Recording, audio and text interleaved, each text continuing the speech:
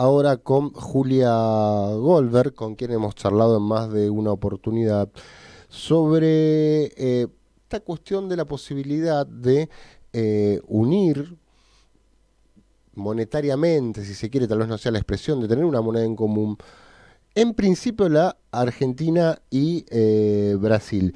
Julia es maestrando en economía, especialista en política internacional. Julia, Julián de Sasousa te saluda. ¿Cómo estás?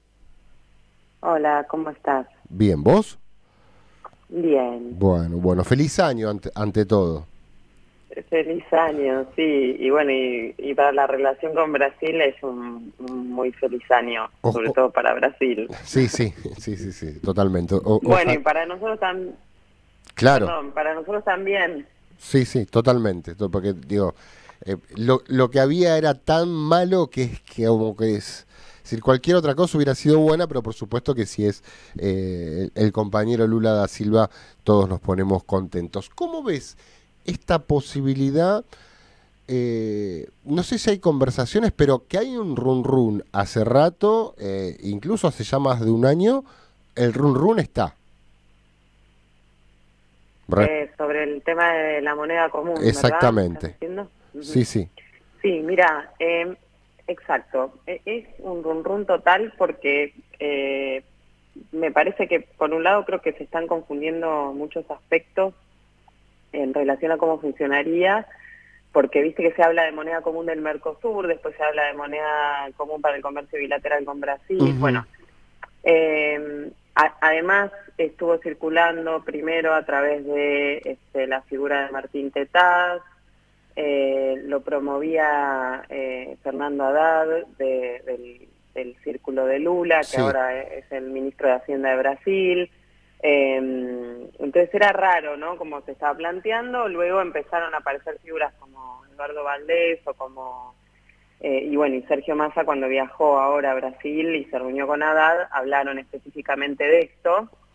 Eh, la, realidad es que, bueno, consultando a algunos economistas, en especial un economista que estuvo en el equipo económico de Néstor Kirchner en 2006, en donde hay un antecedente de esta propuesta por parte de Argentina, eh, lo que me decía es que se trata de una moneda para el comercio bilateral que a Argentina le sirve porque le da alivio a las reservas a través de swap y a Brasil le sirve porque le facilita o aumenta eh, las ventas a Argentina, ¿no? Del comercio.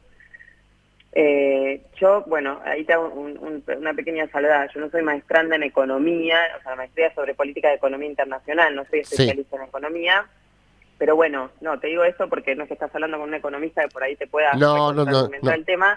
No, te preocupes. Lo que estuve, bueno, lo que estuve, sí, averiguando, hablé con varios economistas y bueno, este último como estuvo en esa misión y tiene el antecedente, viajó a Brasil, se reunió en Hacienda para llevar adelante esto, que después se abogó, eh, digo, y hay interés, este digo, me parece de, ambas partes, ¿no? Porque esto que esto que te mencionaba, los primeros que empezaron a hablar del tema fueron los brasileños. Sí, sí. ¿Qué, qué implica esto en, en un momento en donde hay algún que otro ruido en el Mercosur, sobre todo con Uruguay intentando firmar eh, acuerdos de libre comercio sin la firma del resto de los miembros del Mercosur?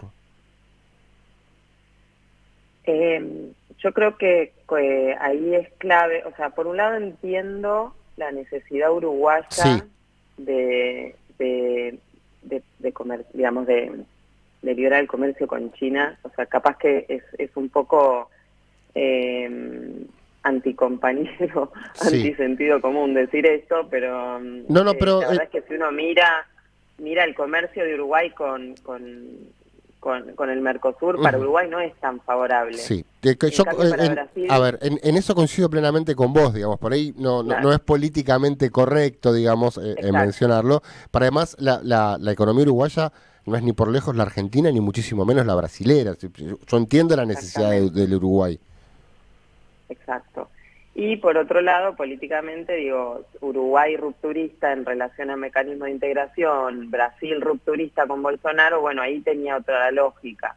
ahora con una voluntad mucho más integracionista por parte de, de nuestro, digamos, de, del principal país de América del Sur, que es Brasil, bueno, ahí no, no sé cuánto le conviene Uruguay. Eh, pero de nuevo, ahí habrá que ver también este, qué tipo de, impacto puede tener. E, esto de la moneda me parece que es otra cosa. O sea, primero hay que ver si funciona sur, de nuevo, entre Brasil y Argentina. Después se hablará de este otro este tipo de mecanismos. La realidad también es que eh, es necesario fortalecer eh, financieramente la región porque todas las regiones están eh, agrupando regionalmente de, manera financiera, con lo cual eso sería realmente positivo, más allá de, lo comercial, ¿no?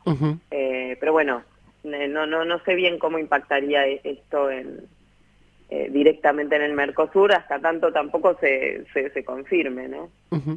Vos recién mencionabas eh, que sería un acuerdo bilateral para el comercio exterior, donde la Argentina evitaría utilizar sus, sus reservas. Este, es un fenómeno el, el tema de, del comercio exterior que se viene dando de un tiempito a esta parte, pero que la guerra en Europa del Este eh, aceleró que es como cierto corrimiento del comercio internacional en dólares. Eh, ejemplo, eh, China acaba de arreglar con Medio Oriente eh, pagar las compras del petróleo en yuanes. Ni hablar de Rusia, que quiere que le paguen el gas y el petróleo en, en rublos. ¿Qué hay ahí? ¿Qué ves vos ahí?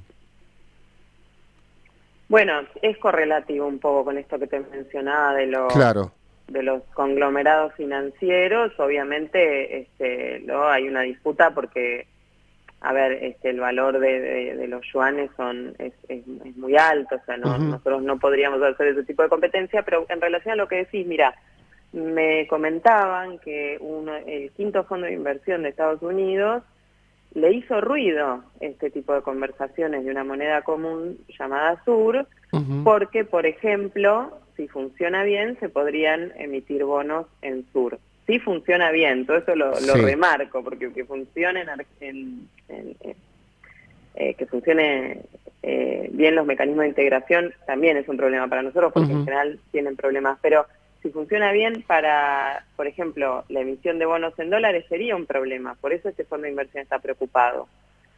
Eh, entonces sí, efectivamente, en todo, en, todo el mundo hay este, una necesidad de, correrlo y, que tiene que ver, bueno, con, con pujas eh, de poder y, obviamente este, nosotros no, no, entramos directamente en esto, pero evidentemente hay algo de eso que les hizo ruido. Sí, hay, hay como un, aire de algunos cambios en el mundo, me parece, ¿no? sí, sin duda. Ah. Eh, con el crecimiento de China, el tablero desde 2008, que, que, fue cuando empezó a crecer mucho, incluso en América Latina, si uno ve cómo empezó China a ocupar el lugar de segundo o primer socio comercial para muchos países de América Latina, eh, es notable, digo, la reprimarización de las economías, este, y, todo eso tiene que ver con, el crecimiento de China, que fue un fue un, movimiento de tablero para todo para todo el mundo, sí, sin duda. me, quedo cortito de tiempo, te voy a hacer una, una última eh, pregunta.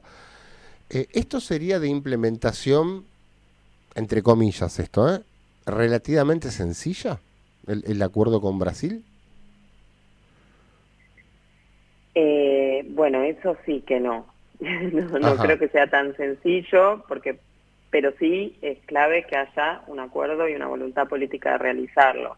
Fíjate que con viento a favor en 2006, eh, con una economía mucho más estable y en crecimiento y el boom de los commodities, eso se cayó porque Brasil, el Estado brasileño es una mole muy grande y tiene que haber una voluntad política muy fuerte para que esto se implemente. Eh, en relación a los detalles económicos y financieros, la verdad es que no te puedo contestar, pero sí te puedo decir más en relación a, a los acuerdos políticos y la necesidad de que exista una voluntad eh, total de que eso suceda. Claro, que no, se ahogue en el medio. Claro, lo, lo que acabas de decir es fundamental. Tiene que haber voluntad eh, política de que eso suceda. Totalmente, en especial de Brasil. Perfecto. Julia, como siempre, un placer conversar con vos. Un gran abrazo y buen año. Muchas gracias. Un buen año para ustedes. Hasta pronto. Hablábamos con Julia eh, Goldberg, eh, especialista en política internacional. Sigue subiendo la temperatura en la ciudad de Buenos Aires. Tenemos actualmente 31 grados, son las 13 horas con 47 minutos.